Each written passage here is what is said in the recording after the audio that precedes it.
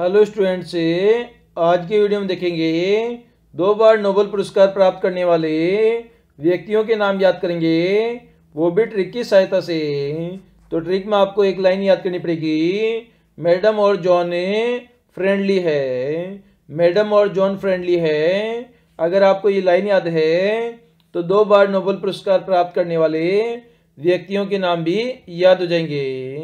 तो मैडम से हो जाएगा, मैडम क्यूरी। जॉन से, जॉन बार्डिन फ्रेंड से, फेंड्रिक, सेंगर, ली से, लीनस पॉलिंगे।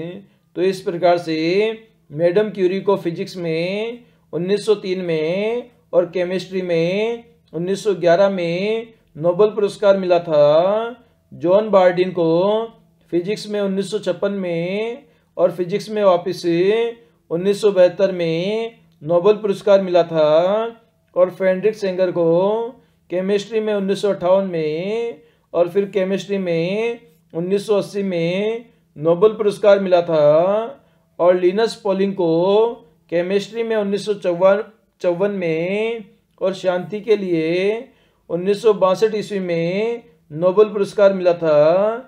और इन सबको हमने याद किया। मैडम और जॉन फ्रेंडली है। ट्रिक की सहायता से इन सब के नाम भी याद कर लिए।